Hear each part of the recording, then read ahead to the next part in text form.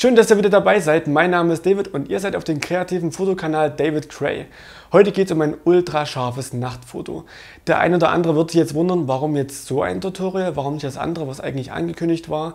Und zwar das Day and Night Foto wird sich ein bisschen verschieben, wahrscheinlich um zwei, drei Wochen, weil ich einfach noch nicht zu 100% zufrieden bin. Und ich möchte, dass am Ende ein richtig geiles Foto rauskommt, wo ihr auch was davon lernen könnt. Und deswegen seid nicht traurig, das Video wird auf jeden Fall kommen. Und zu so einem Day-and-Night-Foto braucht ihr letztendlich eh eine Nachtaufnahme. Und wie das Ganze funktioniert, das zeige ich euch jetzt.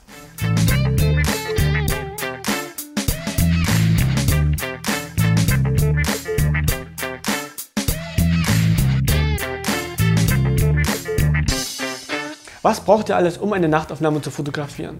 Ganz klar, ihr braucht die Kamera selber, am besten eine System- oder eine Spiegelreflexkamera, damit ihr die beste Bildqualität erzielt. Dann braucht ihr ein Objektiv mit einer kleineren Brennweite, ungefähr 18, wenn nicht sogar noch kleiner, um so viel wie möglich Bildinhalt auf ein Bild zu bekommen. Dann braucht ihr ein Stativ mit Wasserwaage, damit ihr das Ganze schön vage ausrichten könnt, einen Fernauslöser mit Einrastfunktion, dann braucht ihr Licht, falls jetzt irgendwas runterfallen sollte, eine Stoppuhr und eine Teekanne, sollte es richtig kalt werden. Auf was müsst ihr achten, wenn ihr diese Nachtaufnahme fotografiert? Punkt 1. Stellt das Stativ und die Kamera immer schön stabil und waagerecht auf. Erstens sorgt ihr für Stabilität und zweitens ist der Horizont schön gerade. Punkt 2. Verwendet stets einen 2 Sekunden Auslöser, um Verwacklung beim Auslösen zu vermeiden. Punkt 3. Sorgt dafür, dass der Bildstabilisator in der Kamera ausgeschaltet ist, denn die Gyrosensoren arbeiten nicht korrekt auf einem Stativ und sorgen dafür, dass das Bild verwackelt ist. Punkt 4. Schaltet den Autofokus ab und fokussiert manuell.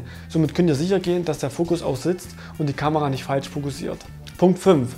Verwendet den Live-View-Modus, denn da habt ihr die Möglichkeit, das Bild nochmal zehnfach heranzuzoomen und könnt somit viel besser manuell scharf stellen.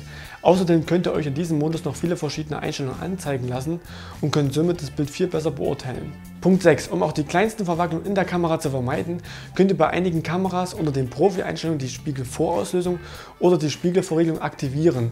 Beim Auslösen wird der Spiegel nicht mehr hochgeklappt, was ja zu Schwingungen in der Kamera führen kann oder zu Verwacklung auf dem Bild.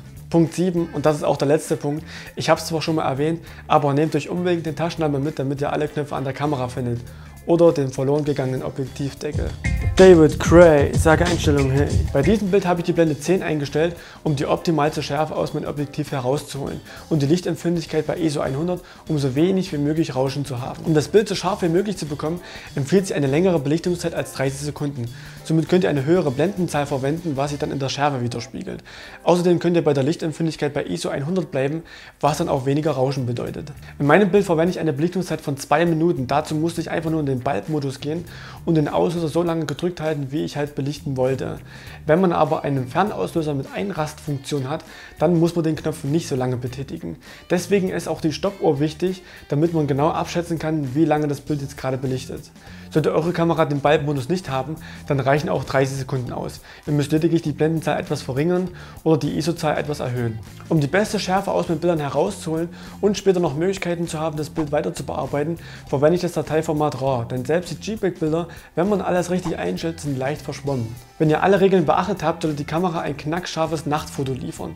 Aber das war noch nicht alles. Wir können aus diesem knackscharfen Bild ein richtig ultra scharfes Bild machen und dazu brauchen wir jetzt Photoshop oder Lightroom. Und wie das funktioniert, das zeige ich euch jetzt.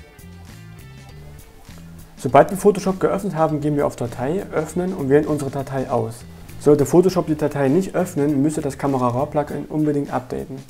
Sobald sich das Bild geöffnet hat, können wir das Bild genauso wie in Lightroom bearbeiten. Hier haben wir alle Einstellungen auf einen Blick. Wir können ganz einfach die Grundeinstellungen anpassen, von der Belichtung bis zum Kontrast. Wir können die Farben separat anpassen, die Schärfe, die Objektivkorrektur. Wir haben alle Freiheiten und Möglichkeiten in diesem Kamera-Dialog. Da ich euch auch mit diesen ganzen Einstellungen nicht langweilen möchte, werde ich nur bestimmte Dinge erklären und das Ganze etwas vorspulen. Am Anfang werde ich die Grundeinstellungen anpassen, speziell bei der Farbtemperatur möchte ich das Grün im Bild vermeiden und ziehe den Farbregler mehr in das Lilane. Des Weiteren werde ich die Kontraste anpassen, speziell die Lichter und die Tiefen werde ich in die entgegengesetzte Richtung ziehen, damit wir da nochmal alle Details herausholen. Damit die schwachen Farben mehr zur Geltung kommen, werde ich die Dynamik etwas nach oben ziehen. Im nächsten Arbeitsschritt werde ich die Farben alle einzeln anpassen. Gerade die wärmeren Farben werde ich mehr ins Rötliche ziehen und die Grüntöne mehr ins Gelbliche.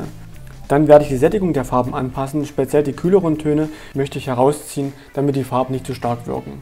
Um dem Bild einen Charakter zu verleihen, werde ich die Teiltonung anpassen. Ich werde die Lichter in das Blaue ziehen und die Schatten eher in das Gelbliche.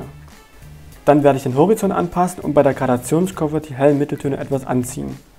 In der Hauptdisziplin, die Schärfe, werde ich erstmal die Stärke anpassen. Dann werde ich den Radius etwas absenken, damit wir nicht so einen Leuchteffekt haben. Die Details werde ich ein bisschen anheben, damit die auch nochmal stärker zur Geltung kommen. Und wenn beim Schärfen komische Muster auftreten, können wir mit der Option Maskieren die Flächen etwas glätten. Unter der Option Effekte können wir dem ganzen Bild noch eine Vignette drumherum ziehen, um den Blick mehr in die Mitte zu führen. Und das war der letzte Arbeitsschritt. Wir können jetzt einfach auf OK bzw. auf Bild öffnen klicken. Sobald das Bild im Photoshop ganz normal geöffnet ist, können wir das Bild wie gewohnt weiter bearbeiten.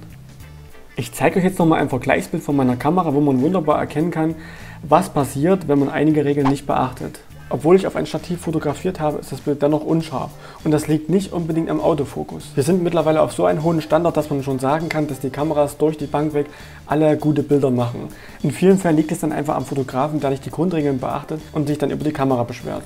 Das soll jetzt auch kein Vorwurf sein, denn jeder hat mal klein angefangen und vieles ist ja auch nicht ersichtlich. Gerade das mit dem Bildstabilisator, das habe ich auch nicht gewusst und habe mich dann immer gewundert, warum sind meine Bilder unscharf. Das war's dann auch schon. Ich hoffe, es hat euch gefallen. Wenn die Tipps für euch hilfreich waren, gebt mir einen Daumen nach oben und schreibt mir unbedingt mal in die Kommentare, mögt ihr lieber Nachtaufnahmen oder eher Tagaufnahmen? Würde mich mal interessieren. Und zu meinen nächsten Videovorschlägen schaut euch mal das Panorama-Tutorial an. Da habe ich jene am Tag fotografiert. Und im zweiten Video geht es um ein Selbstmord-Selfie auf Instagram. Und wer jetzt überhaupt noch kein Stativ hat, um solche Aufnahmen zu fotografieren, sollte bis nächste Woche warten. Da teste ich für euch ein Stativ. Wir sehen uns in einem nächsten Video. Macht's gut, bis bald. Ciao. Mann, ey. Fuck.